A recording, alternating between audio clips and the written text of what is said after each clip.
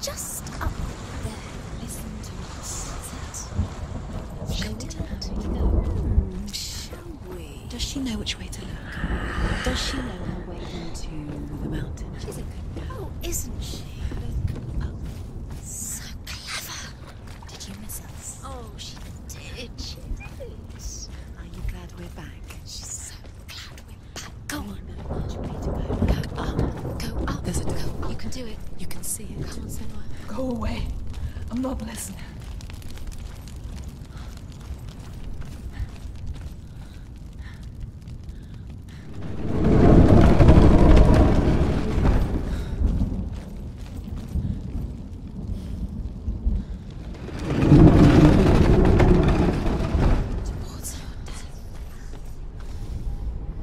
I will tell you of a great hero named Sigurd, son of Sigmund, no less. Born after his father's death, Sigurd is cared for by the dwarf Regin. But Regin does not love the boy. Instead, he plans to use him for his own ends. You see, Regin's father possessed a great treasure given to him by the gods. But Regin's brother, Fafnir, killed his father and took the gold all for himself. Fafnir hid the treasure out on a heath and could not leave it. And from the evil in his heart, he turned into a dark creature. A dragon. Something's behind the door. What is it? She can feel it. No. Don't open the door. no, go in. Don't. Turn back. Turn back. What's in there? A great beast guards Helheim. Garm is its name, and it knows you are here, Senua. It can smell your stink. What are you afraid of, Senua? How will you say Dillion if you are too much of a coward to step into the shadows? They can't stop me. Then do it!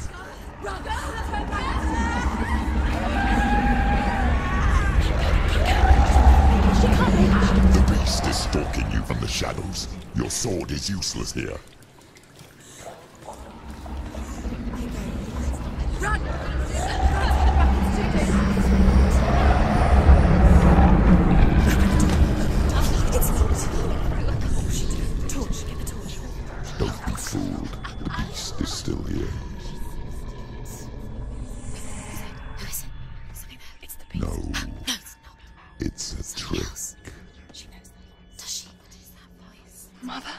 Do you hear that? Don't fall for it.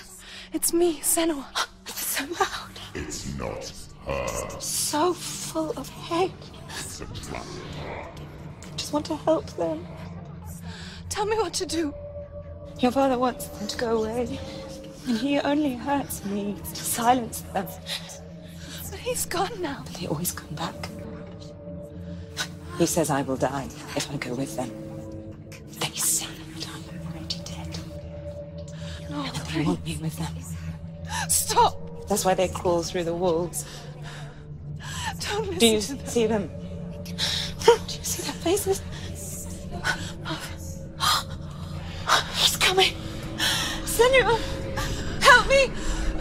Help, get me out of here. Don't go. She's disappeared again. She shouldn't be here. She escaped the darkness. She, took her own life to escape it. She can't remember when it started. When her mother lost her smile. Her eyes gazing past her towards a world she could not see. This is what happens if you reach for the underworld, he said. It was a lot to take in for a child. And the first time she felt the cold chill of fear. I don't talk much about her father. Zynbel. I suppose I just didn't want to risk upsetting her. But it doesn't matter now, does it? She'll have to go under. She can't. She has to. She can't. The torch will go out. Don't. She can do it. She can't do it. The light's gone out. Run! Running! Get the it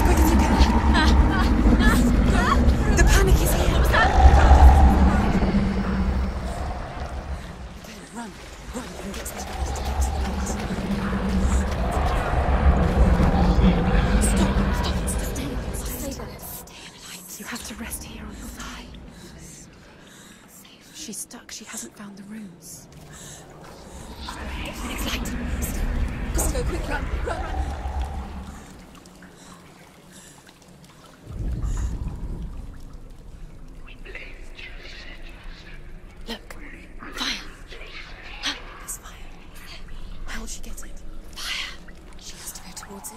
She'll have to go through the darkness. Light. She won't make it through the darkness. Yeah, she has to. She will. She has to make it.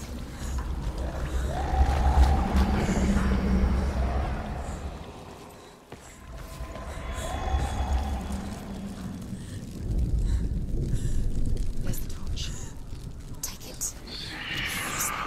No, see. Now she can decide the room. She can find it. Keep the light. See it. She has it. Where is it? I'm afraid to search. No, it's here. The light will keep us safe. The light will guide you.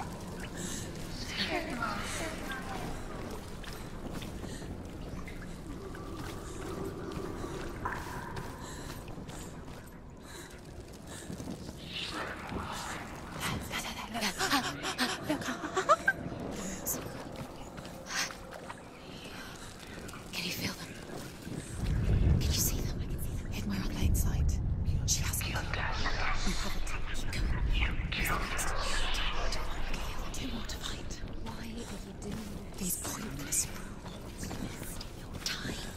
Do you think this is symbols are They're meaningless. Others What are you doing? There's nothing behind the door. save Dillion. The door is just another trial. It's just another trick. Just to distract her from her real mission. You know, but you don't. Your mother is trapped. You don't know anything. Or is she? And Dillion is dead.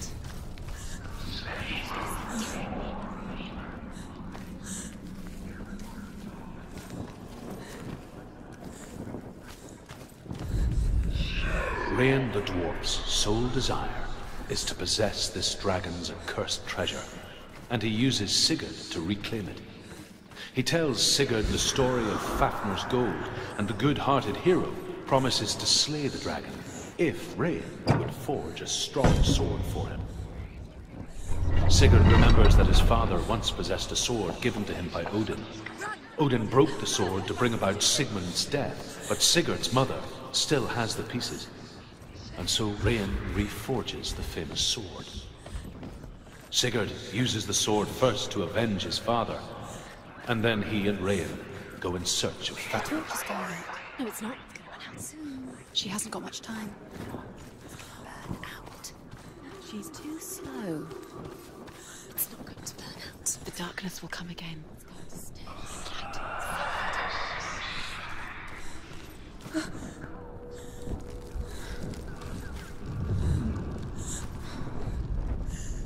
She has it. She did it. She's done it. Well done. This place. It reminds her of the isolating, suffocating darkness that she lived through as a young girl. Imprisoned in her room at night. The faces in the dark coming through the walls. She once thought everyone could see them. I mean, that's what children say all the time, isn't it? That there are monsters in the dark. By the time she realized that only she could see them, her father, Zynbel, could see the monster in her.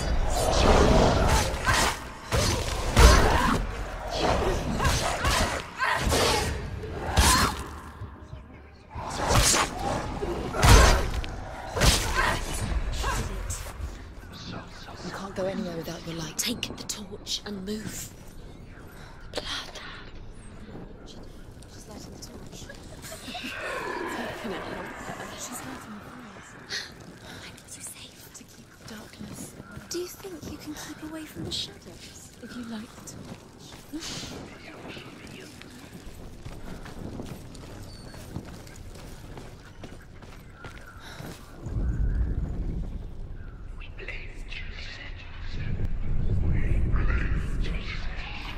You have all the roots. Do you feel it? The beast is crawling into your mind, searching for weakness. It found your mother and used her to trap you in here. Did you see her die? I don't remember. I was only five. They told me she escaped the darkness, that she's with the gods. But what if they lied? What if the darkness took her and trapped her here? Where is he? It's a trap. The beast is coming. Stupid thing.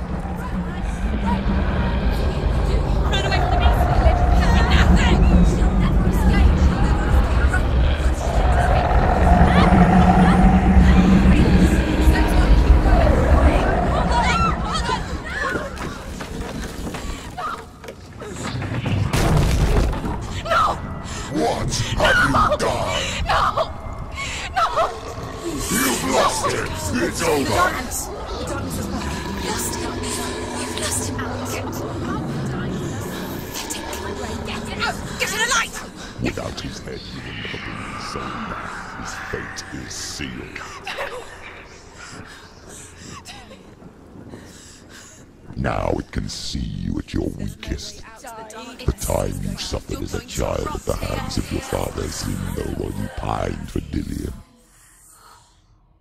Do you remember that darkness, Senua? The beast is bringing it back.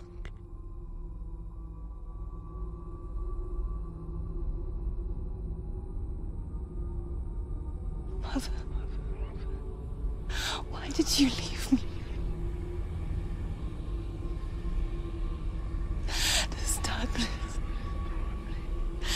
spreading.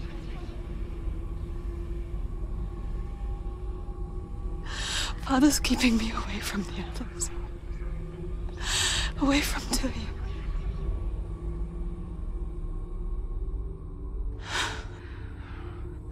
I won't give up. I'm not going to rot in here.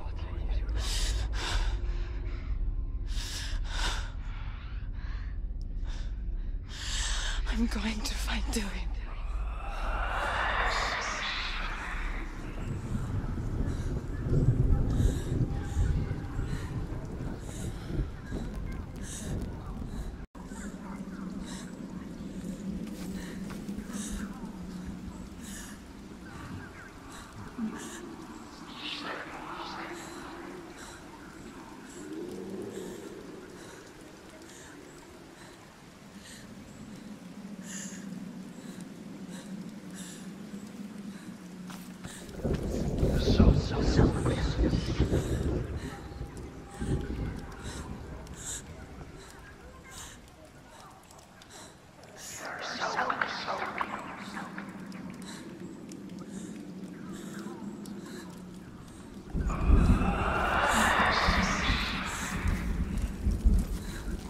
Now she has the light. Keep going. Save the light.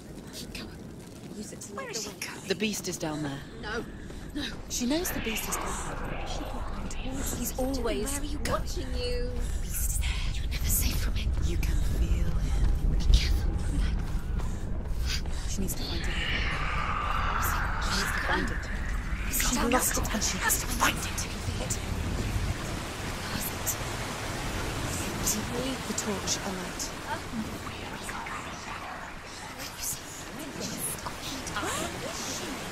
Your eyes up. You're never gonna find it. You can go in that way. Surprise! Run away. Go.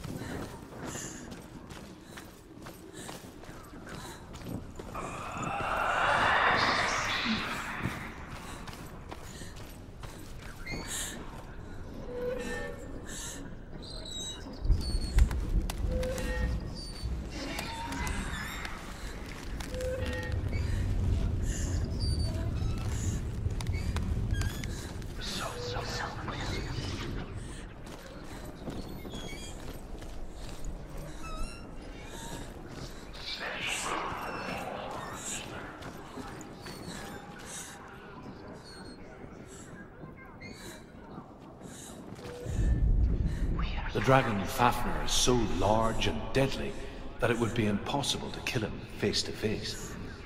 But each day, Fafnir crawls across the heath to find water. So Sigurd digs a pit in the dragon's path and lies in wait in it. When Fafnir slithers overhead, Sigurd sinks his sword into the dragon up to the hilt. Sigurd leaps from the pit, and Fafnir sees his killer. He warns Sigurd that the treasure will lead to his death, as it led to the death of all who owned it. Sigurd replies that death comes to all men, and everyone would want to be wealthy until that day. And he takes the treasure. She'll die. She hasn't. Although Sigurd kills the dragon, Regin wants to keep Fafnir's gold all for himself. Regin also wants the strength and wisdom of the dragon, so he drinks its blood and asks Sigurd to roast Fafnir's heart for him.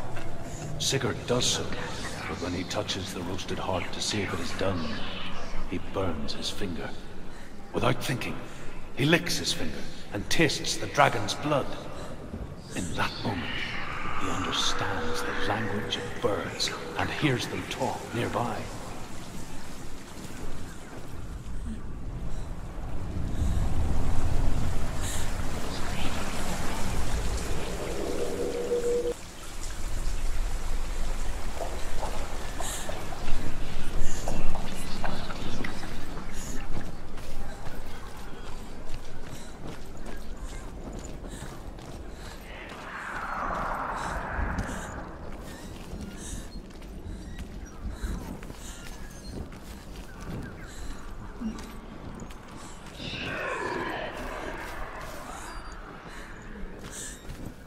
What's she doing?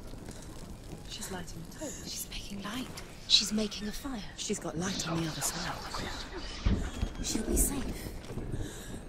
What's her plan? What's she thinking? How's she going to get there?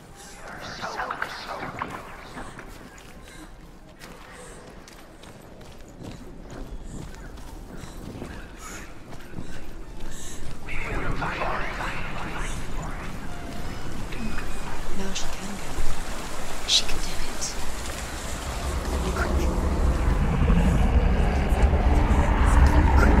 She can't get through. She has to. Get up! Get up! What are you doing?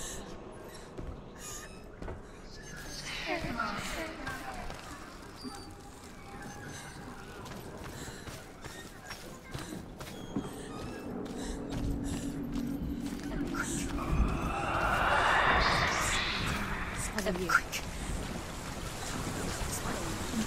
Where is she going? Faster, faster, keep going, keep going.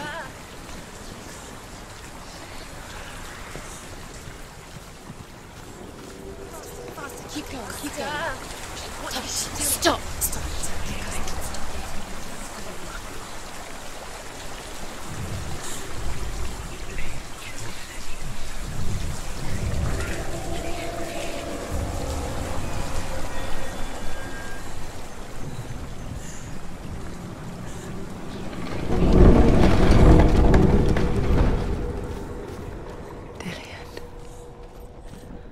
Keep going. tender guiding flame in a world so black. The longer it burned, the more she convinced herself that there was nothing beyond its reach. How little separates us from what we fear. Keep the torch alight. Although Sigurd kills the dragon, Regin wants to keep Fafnir's gold all for himself. Regin also wants the strength and wisdom of the dragon, so he drinks its blood and asks Sigurd to roast Fafnir's heart for him. Sigurd does so, but when he touches the roasted heart to see if it is done, he burns his finger. Without thinking, he licks his finger and tastes the dragon's blood. In that moment, he understands the language of birds and hears them talk nearby. Keep the torch up. Keep the torch. Sweet light. Do